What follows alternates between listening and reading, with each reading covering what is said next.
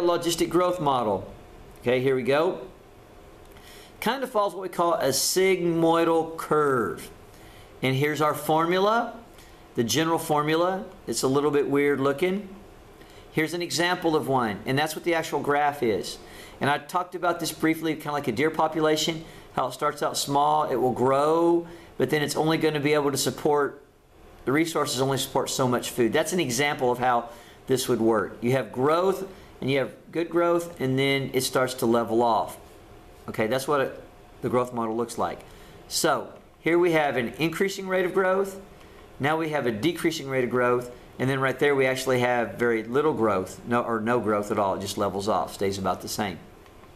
So, let's talk about a spread of a virus. Oh, kind of ignore that. That should have popped up there in a second. But here's our question. On a college campus of 5,000 students, one student returns from vacation with a contagious flu virus. The spread of the virus is modeled by this formula. They're going to give you all these formulas because there's no way we could come up with all this stuff. Okay? And there's our t in time where t is number of days. y is the total number affected for t days. The college will cancel classes when 40% or more of the students are infected. That's where this comes in. So 40% of 5,000 is what? 2,000. All right, so first off, let's do this here. How many students are affected after five days? Well, first off, guess what?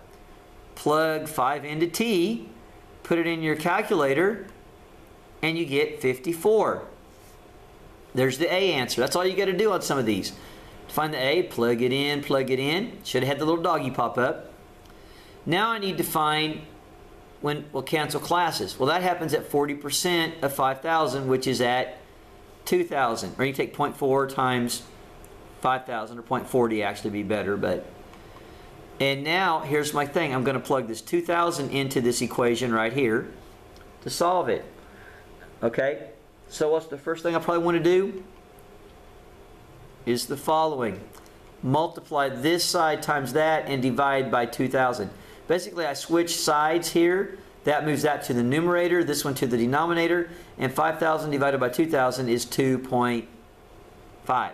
Now minus 1 from each side, and I went ahead and divided by 4,999 at the time. Minus 1 first, and then divided by 4,999 gives me this. And how am I going to get rid of the e? Natural log of that, and natural log of that number right there, which if I put this in a calculator, I'll get negative 8.112, negative 0.08t, divide by negative 0.08. So they would cancel classes after 10.14 days, or after 10 days, they will have 40% of their students affected. Woo! That's when you get to cancel class. Yay! Then you get to watch it all online like you're doing now. Haha.